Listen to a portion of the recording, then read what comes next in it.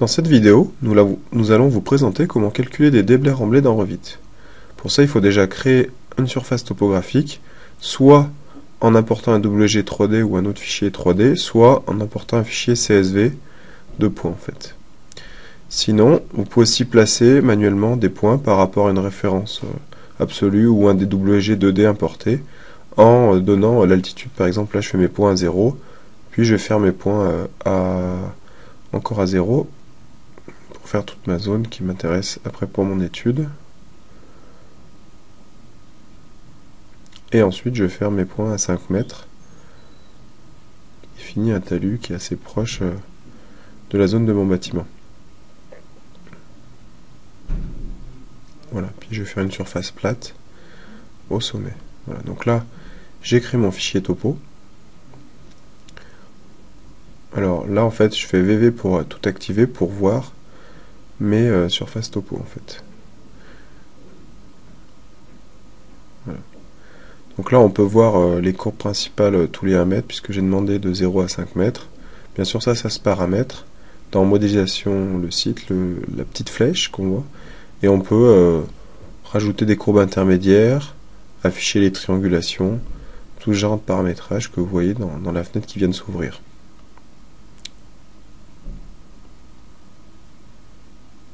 Je vais rajouter des courbes intermédiaires. Je vais dupliquer les courbes principales. Et voilà. Ensuite, on voit en fait euh, rentrer plus fort les courbes principales.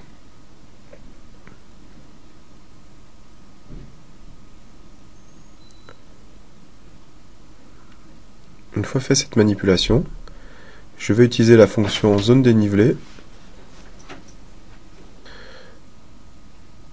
Nous allons donc sur zone dénivelée permet en fait... Donc là, vous avez un choix quand même relativement important. Soit vous prenez tous les points de votre contour, soit uniquement les points extérieurs. Donc là, je vais prendre tous les points de mon contour. Et donc en fait, vous venez euh, apposer les points qui seront le terrain actualisé. Donc euh, vous voyez, en fait, ma maison va un peu euh, manger sur la colline qui est, qui est de côté vis-à-vis de son implantation. Donc je vais mettre des points zéro qui vient bien plus loin pour redélimiter en fait ce secteur. Et puis euh, je vais aussi faire une autre ligne de niveau souhaité à 3 mètres de haut en fait pour faire un talus un peu plus raide sur le sommet.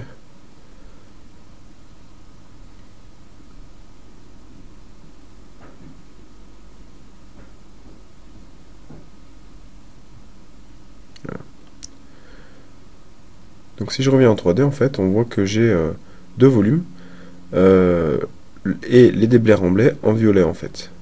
Donc quand je sélectionne mon contour, on voit dans les options que j'ai ce qu'on appelle couper,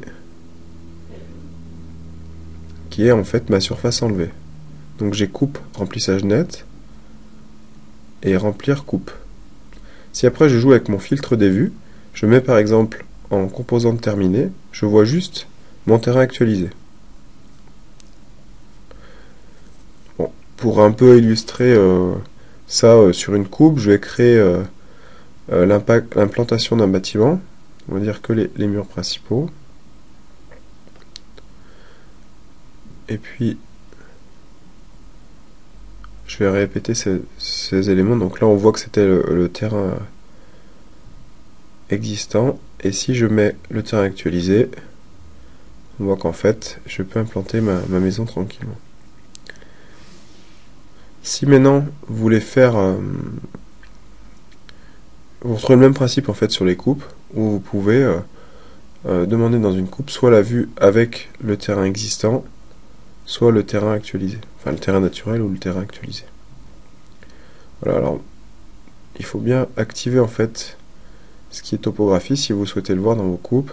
Et après vous pouvez bien sûr demander un niveau de rendu avec des couleurs si vous le souhaitez. Même opération qu'en 3D, on sélectionne la vue et donc dans filtre des phases on va choisir composante terminée qui nous permet de voir le terrain actualisé. Donc en fait cette opération peut se répéter sur n'importe quel type de vue.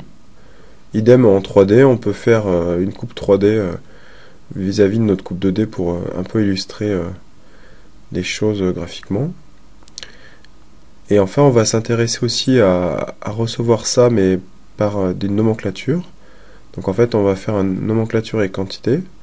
Donc là, il faut bien penser à cocher activer toutes les catégories pour avoir euh, la catégorie topographique. Et donc là, je vais m'intéresser en fait à activer euh, tout ce qui est euh, coupé et tout ce qui est rempli et en fait le détail du calcul entre ce qui est coupé et rempli. Donc là, en fait, c'est sûr que mon rempli est à 0 puisqu'en fait, j'ai fait qu'enlever du terrain.